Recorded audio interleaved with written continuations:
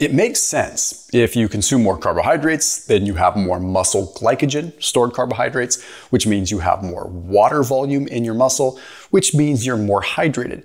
But does that actually mean that carbohydrates themselves hydrate you? Because you can restore glycogen through different ways. For example, someone that's doing a really low carb diet can ultimately create carbohydrates from fat and create carbohydrates from protein and ultimately restore glycogen. So we're talking more about the transport mechanism. Do carbohydrates allow water to go to the right place? So when we look at hydration, when we look at hydrating foods, things that are gonna actually hydrate us, it is beyond just water, but how much of it is sodium, potassium, glucose, calcium, you name it. So we look at a study that was published in Sports Medicine, and it was a 28 study meta-analysis. Okay, what they did is they looked at hypertonic solutions, which are solutions that had more concentration of minerals than plasma in the body. They looked at isotonic solutions, which would have about the same amount of concentration of electrolytes and whatnot as the blood. And then they looked at hypotonic, those that had a little bit less. And then, of course, they compared it to water. When they looked at the hydration aspect and what was most hydrating, it was surprising to find that hypotonic had the best effect on hydration, which means a decent amount of minerals, but not so much that it was more concentrated in the actual blood. And when you got down to water, they found that water was actually not all that hydrating compared to water with a little bit of salt or water with a little bit of potassium. Now, that's no real surprise. That's why they're called electrolytes and people consume them. They definitely are proven in many cases to improve hydration. And we're going to talk about the carbohydrate piece in a second. We're going to talk about different foods, but we also need to look at sort of how water absorbs in the body. What they essentially found is that when people are exercising, if they were to drink just straight up water, it would decrease the plasma osmolarity. And this would increase what's called diuresis, which means you're actually going to urinate more. So they found that while people were exercising, drinking straight water has an effect that could make you more dehydrated. And it's probably better than not drinking water at all, but your rate of loss is going to accelerate over the long term. So if you're not putting minerals back in, you're essentially going to increase the rate at which you are urinating, and it's going to eventually dehydrate you. And that's the body's sort of protective mechanism because it's kind of unsure with vasopressin and some of these other things, which we'll talk about in a second, like how much fluid to actually retain. There was a study that was published in the Journal of Applied Physiology that looked at just plain water. And again, this isn't to bash water. Water's obviously good, but we're kind of designed to be consuming water in these amounts that coincide with our diet and things like that. Like you think about even ancestrally, it was probably uncommon to just be hydrating all the time with pure water. There was probably minerals coming in from their different foods, or they would get water at one particular point in time. It's just, it's unrealistic to think that there was just a constant stream of regular water, no pun intended, coming into their body. Too much water at one sitting ends up suppressing what is called arginine vasopressin, or AVP. Now, when this is suppressed, it essentially dysregulates how the body does its fluid balance thing.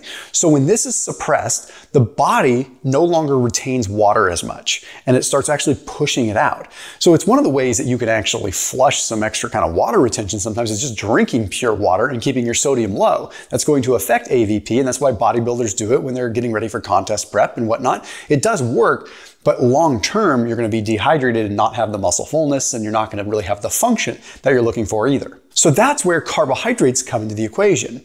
Now, carbohydrates can play a role with hydration. As a matter of fact, we see in the evidence that in a small amount, they do aid in hydration, but they particularly aid in hydration when minerals are not able to do their job as well either, right? So there's like an optimal situation, which is going to be hydration through some food and subsequent or immediate fluid intake along with that food. But let's look at a study that looks at carbohydrate ingestion along with electrolytes. This study was published by the Committee on Military Research. They actually found that as soon as someone is starting to lose body weight from water loss, their performance declines. Now, what they found is at 3% body weight loss, which is not all that much from water, there is an exponential decrease in performance and work capacity. So huge decrease in their ability to lift, ability to run, ability to really even have stamina. What they found, plain and simple, is that sodium played a huge role in their hydration and that they could just keep sodium in the equation, it would allow for proper hydration. But when they were really exerting themselves, having a 5 to 10% carbohydrate solution was the sweet spot to increase hydration a little bit more. Now, this has to do with something that's called the S-GLUT 1 transporter. So SGLT1. Essentially what's happening is this S-GLUT1 transporter is a sodium gated channel. So it allows glucose to come in, but only if it's coupled with sodium. And then what happens is by simple osmolarity, the water just kind of tags along and follows through too. So the water isn't a necessary part, but by osmosis and proper osmolarity and polarity there, what happens is the salt and the sodium are going in and the water follows it in. So essentially, you're able to piggyback on this S-GLUT1 transporter. But you can't always do that. Okay, there's a lot of times, like for me, for example, I don't necessarily want to consume carbohydrates if I'm training for fat loss, right? If I am running or if I'm doing cardio and I'm trying to get lean, having an insulin spike with a little bit of carbohydrates would actually disrupt some of my fat burning process. So the right ratio of sodium and potassium is really important. I put a link down below for LMNT electrolytes, which is by far still the number one electrolyte that I use because there's zero sugar in it. Okay, so this is 1,000 milligrams sodium, 200 milligrams potassium, and 60 milligrams magnesium. So I'm getting a higher concentration of sodium. So I get a little bit better water retention at the time and potentially absorption. So I find that I end up able to retain water just enough time throughout my workout where I'm actually maintaining some muscle volume. So for me, I get a muscle pump from it. I don't eat a whole lot of carbs, especially before workout. So by having these electrolytes coming in, I maintain muscle fullness and I get some of that sodium activation and I get the overall sodium assisting in muscle contraction. So there's a balance here. If you can have carbohydrates, you certainly can. You could even have like a smidge of carbohydrate along with an LMNT electrolyte if you really wanted to, and it might increase the hydration even more. But for most people that are kind of in my circle, we like to do our workouts in somewhat of a fasted or a very low carb state. And I'm not willing to have maybe six to 10 grams of carbohydrates during my workout. So that link down below for LMNT Electrolytes gets you a free sample variety pack. Highly recommend you try them. That link down below, drinklmnt.com slash Thomas is in the top line of the description. But what foods can we eat that actually hydrate us throughout the day? Because what I find is that I end up consuming boluses of water and then later on I'll eat. And I have this like imbalance of hydration.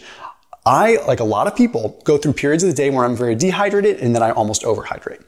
And it's kind of a natural thing for busy people. You forget the time of day, right? It's just, it happens. So if you can consume more of these foods, it actually aids in more sustained hydration, which could be hugely beneficial. The first one is rather obvious, okay, because that's going to be cucumber. We see cucumber as hydrating. It's literally 96% water, but it's also a pretty decent amount of potassium as well. So just by and large, you're getting a relatively hydrating food. Potassium keeps the water inside the cell. So sodium and potassium work together as sort of a pump that kind of oppose each other. Now, potassium is going to make keeping that water more in the muscle. So if you start cramping during workouts, a lot of times you need more potassium. If you're cramping more in the evening time or at night, you need more magnesium. So it's a little bit different. Sodium helps keep this balance high altogether. Okay. So cucumber is just good to kind of sip on throughout the day or even mash into your water. But the big one, my personal favorite, if I'm going to have carbs throughout the day, I love to have watermelon. Now, here's a couple things. Watermelon, for one, is 92% water. So when you eat it, you're just getting a lot of water. But it also has a huge punch when it comes down to potassium. We're talking close to 200 milligrams of potassium in just a simple cup of this stuff. And a cup, remember, you're talking 92% of it is just water. But then it has glucose and fructose, which interesting combination can aid in hydration. But it just so happens to have a fair bit of carbohydrates and not an extraordinary amount, just enough to aid in hydration. It really is significant there, but what makes watermelon extra unique is the citrulline. So it has citrulline, which triggers a lot of vasodilation, which can allow more water to flow through and actually nourish and actually hydrate the tissue. So it truly is a hydrating compound. So if you're exercising, if you're running, and you can stomach consuming a little bit of watermelon juice, it could be pretty beneficial. But more so, it's just something you want to consume throughout the day. So you couple that with like a good quality electrolyte and you're really sitting pretty. You're getting extra minerals, sodium, but then you're getting the citrulline and you're getting the actual hydration aspect of the food itself. Now the next one is coconut water, which is kind of interesting because coconut water has been making a bit of a comeback recently. A lot of people have been talking about it. Is it truly beneficial for hydration?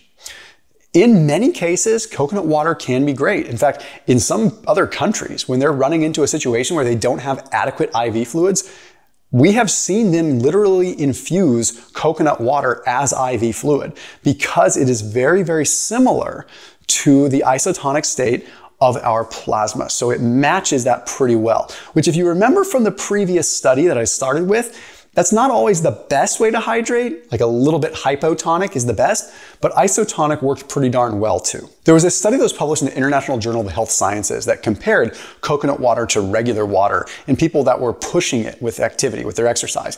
And what they found, although it wasn't hugely significant, Coconut water did increase performance and it did lead to more hydration, which would make sense because we're talking six to 700 milligrams of potassium in a cup. That's a lot of water getting drawn into a cell. So exceptionally hydrating. So if you look for coconut water that doesn't have sugar added to it, you're looking like a pretty good situation there. Not to mention, one cup has about 250 to 300 milligrams of sodium, so it's not too bad there, but you're also looking at about six to seven grams of carbohydrates in that cup, which is about all you would really need for proper hydration. So that's where things get really confusing for people. They think carbohydrates are gonna help me hydrate.